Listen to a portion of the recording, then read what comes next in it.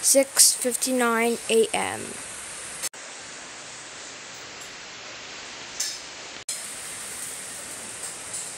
Late! Late again. Still very late! You get the idea.